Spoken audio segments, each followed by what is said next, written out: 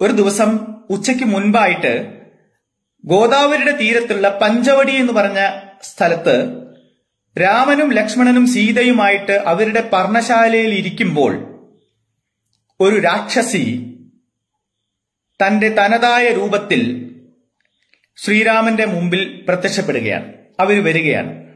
ആ രാക്ഷസി വന്ന് ശ്രീരാമനോട് തന്നെ വിവാഹം കഴിക്കണം എന്ന് അഭ്യർത്ഥിക്കുന്നു. അങ്ങനെ വിവാഹം കഴിച്ച് നമുക്ക് ഇവിടെ സുഖമായിട്ട് ജീവിക്കാം. എന്നിട്ട് ആ സമയത്താണ് ഈ കഥ തുടങ്ങുന്നത്. അപ്പോ ഈ കഥ പതിനെട്ടാമത്തെ സർഗത്തിലാണ്. ആരണ്യകാന്ഡത്തിലെ പതിനെട്ടാമത്തെ സർഗത്തിലാണ് ഈ കഥ. അപ്പോ വാൽമീകി കഥ എഴുതുന്ന ആളാണ്. അപ്പൊ കവിയാണ്. അപ്പൊ വാൽമീകി ഈ ശൂർപ്പണകയെ കുറിച്ച് വിരൂപയായ ശൂർപ്പണകയുടെ കൃത്യമായ രീതികളൊക്കെ അവരുടെ ആകാര വടിവുകളൊക്കെ കൃത്യമായിട്ട് വൈരൂപ്യ ഭാവത്തോടു കൂടി പറയുന്നുണ്ട്. എന്നാൽ ഈ വൈരൂപ്യ ഭാവത്തോടു കൂടിയുള്ള ഈ ശൂർപ്പണഖ ഭയങ്കര സുന്ദരിയായിട്ട് വന്നു എന്നാണ് വേറെ പല സ്ഥലത്തും പല കവികളും എഴുതിയിട്ടുള്ളത്. പക്ഷെ യഥാർത്ഥത്തിൽ വൈരൂപ്യത്തോടു കൂടി തന്നെയാണ് വാൽമീകി ശൂർപ്പണഖയെ എന്ന കഥാപാത്രത്തെ പ്രതിഷ്ഠിച്ചിട്ടുള്ളത്. ഇങ്ങനെ വൈരൂപ്യത്തോടെയുള്ള ശൂർപ്പണഖ രാമന്റെ മുമ്പിൽ വന്നിട്ട് വിവാഹാഭ്യർത്ഥന നടത്തുമ്പോ രാമൻ പറയുന്നത് പക്ഷേ ഓ ഇത്ര സുന്ദരിയായിട്ടുള്ള രാക്ഷസീനെ രാക്ഷസിയാണെന്നൊന്നും കണ്ടാ പറയില്ല കേട്ടോ നീ എന്നാണ് പറയുന്നത്. അപ്പൊ രാക്ഷസിയെ പോലും ശ്രീരാമൻ ഒരു വൈരൂപ്യ ഭാവത്തോടു കൂടി നോക്കി കണ്ടിട്ടില്ല. അങ്ങനത്തെ കഥാപാത്രത്തെയാണ് വാൽമീകി രാമനായിട്ട് അവതരിപ്പിച്ചിട്ടുള്ളത്.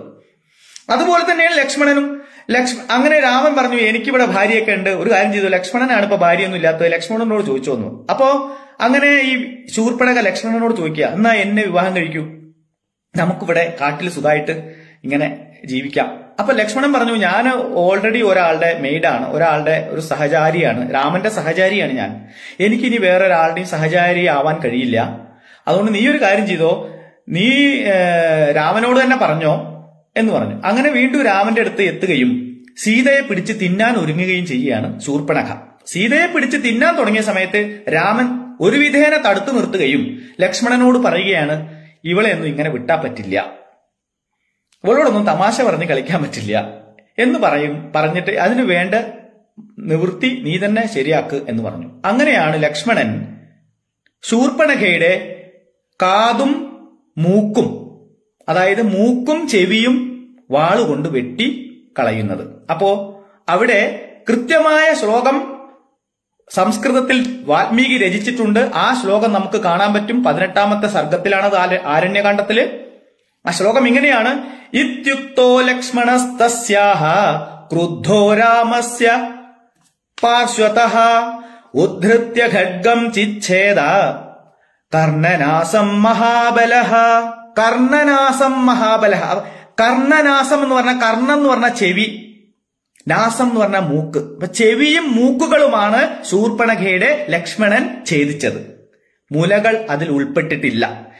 ഇങ്ങനെ വാൽമീകി എഴുതാത്ത മുലകൾ എവിടെയാണ് വന്നത്?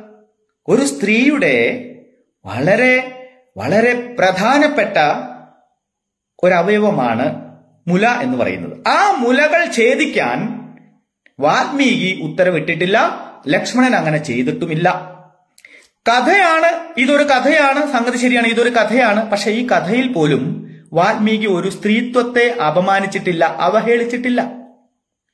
സ്ത്രീത്വത്തെ അവഹേളിക്കാത്ത വാൽമീകിയെ അവഹേളിച്ചത് തുഞ്ചത്ത് രാമാനുജൻ എഴുത്തച്ഛനാണ്. അദ്ദേഹം പറയുകയാണ് കാതും മൂക്കും മുലകളും മുറിച്ചു എന്നാണ് അദ്ദേഹത്തിന്റെ രാമായണത്തിൽ അതായത് ഈ അധ്യാത്മ രാമായണം കിളിപ്പാട്ട് എന്ന് പറഞ്ഞിട്ട് മലയാളത്തിലേക്ക് മൊഴി മാറ്റിയപ്പോ തുഞ്ചത്തെഴുത്തച്ഛൻ എഴുതിയത്. അപ്പൊ തുഞ്ചത്ത് തുഞ്ചത്തെഴുത്തച്ഛൻ അഞ്ഞൂറ് വർഷം മുമ്പ് എഴുതിയ മലയാളിയുടെ ആ മലയാളിത്തമാണ് ആ കവിതയിൽ നമ്മൾ കണ്ടത്. അന്ന് ഇവിടെ സ്ത്രീകൾക്ക് മാറു പറയ്ക്കാനൊന്നും അധികാരം ഉണ്ടായിരുന്നില്ല. ആ സമയത്ത് സ്ത്രീകളെയൊക്കെ ആ നിലയ്ക്കാണ് തുഞ്ചത്തെഴുത്തച്ഛനും കണ്ടിട്ടുള്ളൂ. സ്ത്രീകളെ ബഹുമാനിച്ചിട്ടില്ല. അതേസമയം സഹസ്രാബ്ദങ്ങൾക്ക് മുമ്പ് വാൽമീകി സ്ത്രീകളെ എത്രത്തോളം ബഹുമാനിച്ചു എന്നുള്ളത് നമുക്ക് അവിടെ മനസ്സിലാക്കാൻ പറ്റും. കാരണം സ്ത്രീ സ്ത്രീ ഒരു മൂക്കും ചെവിയൊക്കെ പുരുഷനും സ്ത്രീക്കും ഉള്ളതൊക്കെ തന്നെയാണ്. പക്ഷേ മാറിടം അല്ലെങ്കിൽ മുലകൾ എന്ന് പറയുമ്പോൾ അത് പ്രത്യേകിച്ച് സ്ത്രീകളെ സംബന്ധിച്ചിടത്തോളം വളരെ ഇമ്പോർട്ടന്റ് ആണ്. അത് മാത്രമല്ല അത് ആ സ്ത്രീക്ക് ഉപകാര ഉപകാരപ്പെടുന്ന സാധനമല്ല. മൂക്ക് എന്ന് പറഞ്ഞാൽ സ്ത്രീക്കും പുരുഷനും ഉപകാരപ്പെടും ചെവിയും ഉപകാരപ്പെടും. പക്ഷെ മുലകൾ എന്ന് പറയുന്നത് ജനിക്കാൻ പോകുന്ന കുഞ്ഞിന് ഉപകാരപ്പെടുന്നതാണ്. ആ കുഞ്ഞിന്റെ പാൽ കൂട്ടുന്ന പാൽ കൊടുക്കുന്ന പാൽ കൂട്ടുന്ന ഒരു അവയവമാണ്. ആ അവയവം മുറിച്ചു കളയുക എന്ന് ഒരു കവിതയിൽ എഴുതുന്നത് തീർച്ചയായിട്ടും അത് കാവ്യനീതിയല്ല യുദ്ധനീതിയല്ല. അപ്പൊ വാൽമീകിയുടെ നീതി വളരെ രസകരമാണ് മാത്രമല്ല ബുദ്ധിപരമാണ് ശാസ്ത്രീയമാണ് എന്നൊക്കെ വേണമെങ്കിൽ പറഞ്ഞാലും തെറ്റില്ല. കാരണം ഇന്നും യുദ്ധനീതി എന്ന് പറഞ്ഞാൽ മൃതദേഹത്തെ വികൃതമാക്കാനൊന്നും പാടില്ല അത് ഭയങ്കര കുറ്റാണ്. അതുപോലെയുള്ള ഒരു യുദ്ധമുഖത്ത് നിന്ന് ഒരാളോട് യുദ്ധം ചെയ്യുമ്പോൾ അദ്ദേഹത്തിന്റെ ജനനേന്ദ്രിയങ്ങൾ തകർക്കുകയും മാറിടങ്ങളെ എതിർക്കുകയും ഒക്കെ ചെയ്യുന്നത് യുദ്ധത്തിന് പറ്റിയ രീതിയല്ല അന്നത്തെ കാലത്തും. അത് വാൽമീകിയുടെ നീതിയാണത്. എന്നാൽ എഴുത്തച്ഛന് ഈ വക നീതികളൊന്നും ഉണ്ടായിരുന്നില്ല. ആളുകൾ വായിക്കണം ആളുകൾ രസിക്കണം സ്ത്രീകളെ കുറെ അങ്ങോട്ട് പറയണം. ഇങ്ങനെ കുറെ സ്ത്രീകളെയൊക്കെ പറഞ്ഞ് മുലകളൊക്കെ മുറിക്കുക.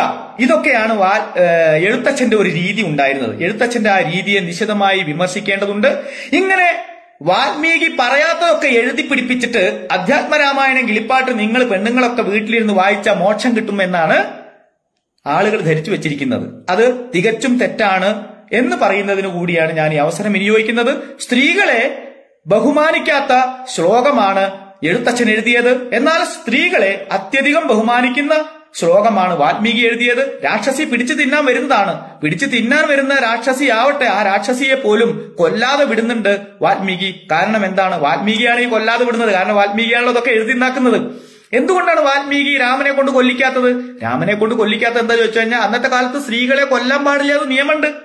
അപ്പൊ സ്ത്രീകൾക്ക് അത്രയും ബഹുമാനമുള്ള കാലഘട്ടത്തിലാണ് വാൽമീകി ജീവിച്ചിരുന്നത്. എന്നാൽ എഴുത്തച്ഛൻ ജീവിച്ചിരുന്നത് അഞ്ഞൂറ് കൊല്ലം മുമ്പാണ്. അന്ന് സ്ത്രീകളെ കേരളത്തിൽ ആരും ബഹുമാനിച്ചിട്ടില്ല.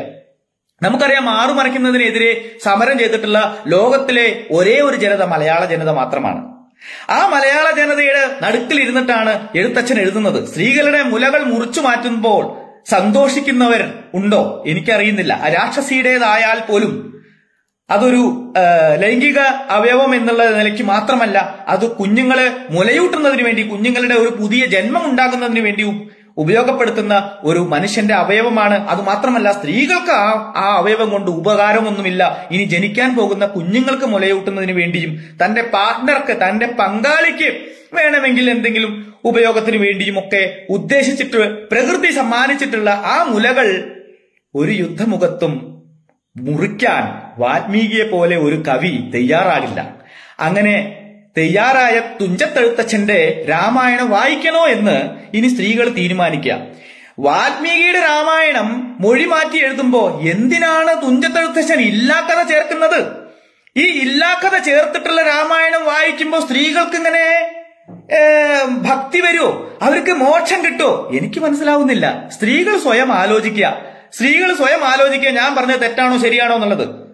വാൽമീകി മുല മുറിച്ചിട്ടില്ല. വാൽമീകിയുടെ രാമായണത്തിൽ ലക്ഷ്മണൻ മുലകൾ മുറിച്ചിട്ടില്ല ശൂർപ്പണകയുടെ